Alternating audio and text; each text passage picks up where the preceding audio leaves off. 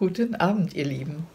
Also ich sitze hier guter Laune in meiner Praxis, um mit euch zu sprechen. Guter Laune, weil ich meinen Vermieter dazu gebracht habe, die Heizung anzumachen. Und es war so kalt in der Wohnung und es ist nun einfach jetzt Herbst. Und äh, er wollte die Heizung nicht anschmeißen. Ich habe dann gesagt, also es geht nicht. Ich kann doch nicht in der Decke gehüllt irgendwie zu Hause sein, auch wenn ich noch so warm angezogen bin. Ich habe immer noch einen Schal an, wie ihr seht. Und ich finde Wärme, also eine angenehme Wärme in der Wohnung zu haben, das ist schon ein Bedürfnis. Nachts brauche ich das nicht. Wenn ich dann ins Bett gehe, dann kann ich mich ja warm einkuscheln. Und äh, trotzdem, es ist so ein Grundbedürfnis, dass es warm genug ist. Ja, es wird ja jetzt auch richtig kalt. Der Herbst hat äh, begonnen. Ja, wir sind ja auch jetzt schon im äh, Oktober seit heute. Und ähm, es regnet, es ist nass, es ist, es ist so eine nasse, kühle Feuchtigkeit draußen. Es ist auch schon ein bisschen moderig. Die Blätter fallen, auch auf meiner Terrasse geht das schon los. Die Blumen sind nicht mehr so schön, wie sie im Sommer waren. Und das ist diese Übergangszeit, wo der Sommer geht und der Herbst ist da. Der Herbst hat auch sehr schöne Tage. Wir werden noch bunte, sonnige Tage haben, da bin ich mir ganz sicher. Aber im Augenblick haben wir eine Regenphase.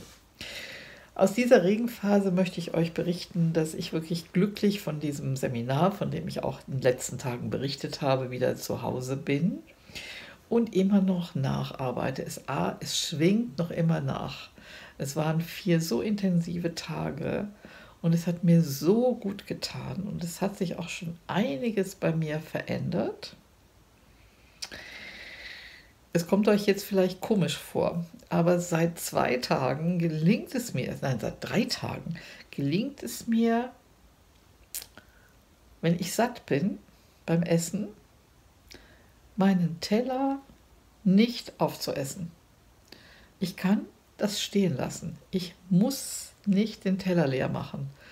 Das hört sich vielleicht für euch wirklich bescheuert an, aber für mich ist das ein unglaublicher Erfolg. Ich konnte es noch nie.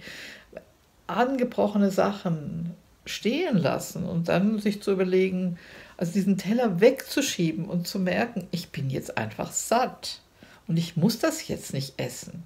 Ich bin doch kein Hausschwein. ja, und das ist mir jetzt jeden Tag mal gelungen, weil im Allgemeinen tue ich mir zu viel auf den Teller, habe ich auch festgestellt. Und das macht aber nichts, wenn, wenn ich dann die Möglichkeit habe und die Freiheit habe zu sagen, okay, es reicht jetzt, diesen Teller wegzuschieben. Eine tolle Freiheit. Ja, und dann habe ich nachher Zeit gehabt, jedes Mal mit zu überlegen, was ich mit dem Rest mache. Wie ich den aufbewahre, ob ich den wegschmeiße, ob es wirklich nicht mehr gut ist oder ob ich ihn im Kühlschrank aufbewahre und mal gucke, ob ich dann an irgendeinem der kommenden Tage nochmal Lust drauf habe.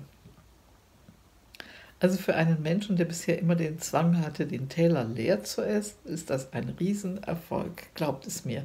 Ich weiß ja nicht, wie es euch damit geht, aber ähm, das ist der Anfang von einer neuen Freiheit in meinem Leben. Ich wünsche euch einen wunderschönen Abend. Ich gehe jetzt ins Bett. Morgen früh habe ich nämlich Schauspielunterricht und morgen werde ich am späten Nachmittag zur langen Theaternacht in Köln aufbrechen und bin sehr gespannt, wie es mir denn gefallen wird, diese lange Theaternacht. Es wird auf jeden Fall aufregend und es wird nass, es wird regnen und ich überlege mir jetzt schon, was man denn da am besten anzieht. Also alles Liebe für euch, schlaft schön und lasst es euch gut gehen. Eure Anita Ferraris.